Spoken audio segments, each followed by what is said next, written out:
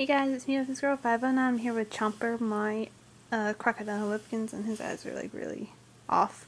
I just realized that, but anyways, um, my friend gave me three My Little Ponies. Um, yes, I'm just like now getting into My Little Pony. I've always kind of had a feeling of liking them. Like I've always loved Rainbow Dash and DJ Pon-3, but I've never really like wanted to collect them. But she gave me some blind bag figures, like three of them. And now I'm just like dying to want to get some more and collect them. I'm not going to like collect them on a major level like my Webkinz. But I will collect them. Me and my friend might go to Walmart this weekend and get some and I'll make a video of me getting some. Or I'll show them to you. But she only gave me three out of her collection because she didn't want them.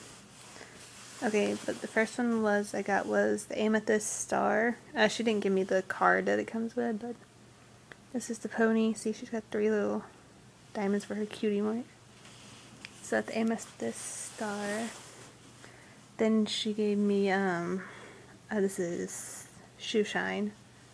See, she's got two little horseshoes for her cutie mark, and she's really pretty. This is my favorite one that I got. And the last one she gave me was a stallion, and that was um, noteworthy. I think that's who it is. Yeah, and he looks so funny looking straight like this. If you look at him from the side, he looks better. But he's got three music notes for his cutie mark. And he's just so cute.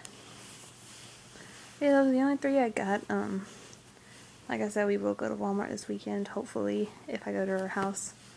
Me and her are still trying to figure out if we can or not, and if we need a little money, because they're like, we need some money, we we're like broke, and then they're like 250 a pack.